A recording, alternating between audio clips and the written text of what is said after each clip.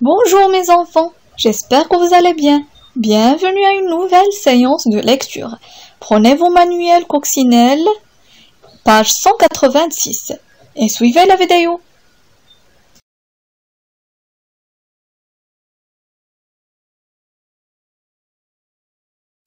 Observez bien l'illustration et dites-moi quelle est la nature de ces images? Bravo, c'est une bande dessinée. Quel est le titre et l'auteur de cette histoire? Très bien.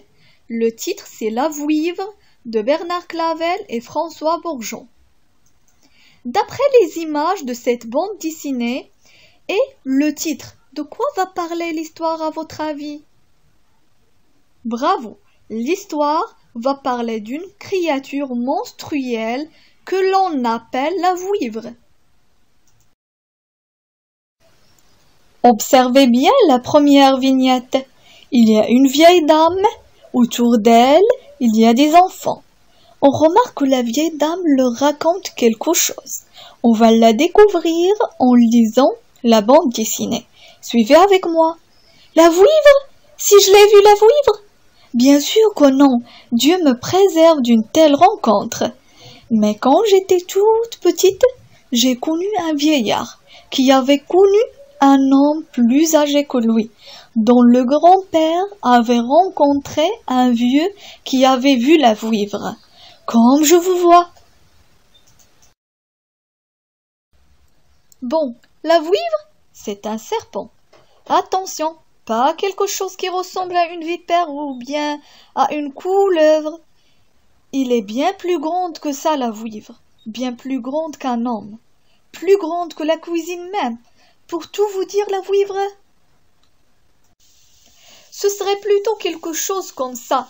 Quand elle est en colère, il peut te lancer un jet de feu à plusieurs mètres. Et puis cette bête-là n'a qu'un œil, un œil de rubis un œil gros comme la tête d'un nourrisson bienvenu.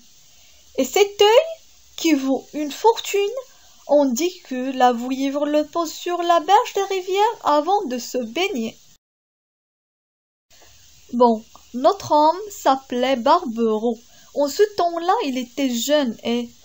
Hé hé Ton père ne voudra jamais nous marier. Je suis beaucoup trop pauvre. Demande-lui toujours. Il n'est pas méchant homme.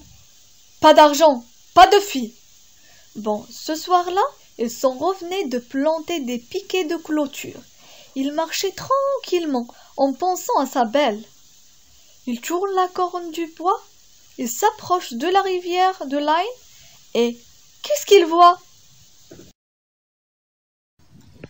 Bon, il se passe pour s'assurer qu'il ne dort pas. Mais non, ce n'est pas un rêve. La vouivre est là, et pas bien loin, sur la berge, une chance unique s'offre à lui. Tout juste gardé par une grosse vipère, l'œil de la vouivre repose sur un matelas d'herbes fraîches. Pas d'argent, alors pas de fille. Pourquoi hésiter? Ce rubis me rendra riche et libre d'épouser celle que j'aime. Et puis, sans son œil, la vouivre ne doit pas voir grand-chose il aura bien du mal à me poursuivre. Après avoir bien lu la bande dessinée, on va découvrir tous ensemble le type de cette histoire. Bande dessinée, qu'est-ce qu'il raconte? Il raconte l'histoire d'une créature légendaire qui n'est pas réelle et en même temps on voit des personnes qui croient à cette légende. C'est-à-dire il y a une hésitation entre le réel est l'irréel. On appelle ce type d'histoire ou bien de texte le fantastique. La question qu'on doit poser maintenant c'est c'est quoi le fantastique? Le fantastique se caractérise par l'intrusion de surnaturel dans le cadre réaliste d'un récit. Le fantastique se distingue par l'hésitation qu'il produit entre le surnaturel et le naturel, entre le possible et l'impossible, et parfois entre le logique et l'illogique. Prenez maintenant votre cahier noir, cahier de maison, pour répondre à ces questions de compréhension. La première question expliquer les mots difficiles. Vipère, rubis. La deuxième, c'est quoi la vouivre d'après l'histoire? Et comment il est présenté? La troisième, comment comprend-on que la vouivre est une légende? Faites attention à la deuxième bande de la page 186, vous allez trouver la réponse. La quatrième question. Que porte Barbaro sur l'épaule? À quoi sert cet outil? La cinquième? Que fait-il sur la dernière vignette? La dernière question maintenant. Être fier comme un dindon, c'est être vaniteux, ridiculement content de soi. Relevez à quel personnage de l'histoire cette expression s'applique-t-elle? Et voilà mes chers enfants, notre séance de lecture est terminée. Si vous voulez savoir la suite de l'histoire, je vous invite à lire les pages 200 et 201. Merci, au revoir.